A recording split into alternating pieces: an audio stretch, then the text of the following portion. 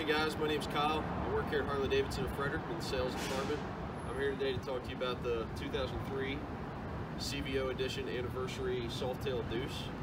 This bike comes standard with a 5 gallon fuel tank, the 95 cubic inch twin cam B engine, 5 speed transmission, and fuel injection.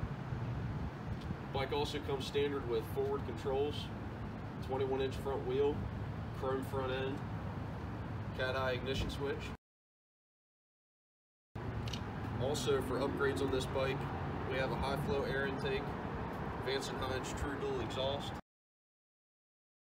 This bike has a chrome outer primary cover, Screaming Eagle Derby cover with the CCs 1550. This bike's selling for 11199 The mileage